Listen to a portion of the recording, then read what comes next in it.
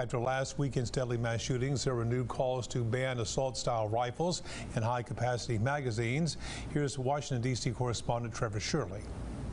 After last weekend's mass shootings, there are new calls for a ban on assault weapons, but President Trump says it won't happen.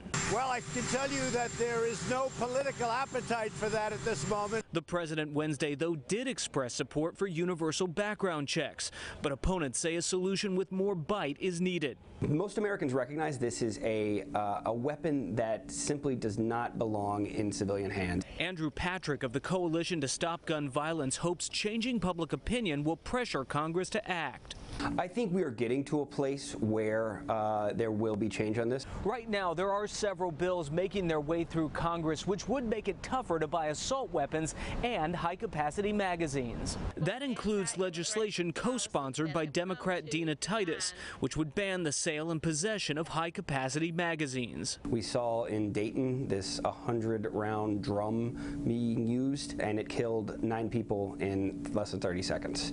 Opposed to most of this, though, is the NRA, which says any restrictive legislation would violate the rights of law-abiding citizens, telling us in a statement, quote, gun and magazine bans are failed policies that won't make anyone safer. We're going to come up with something that's going to be really very good.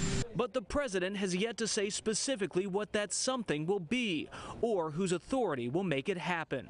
Reporting in Washington, I'm Trevor Shirley.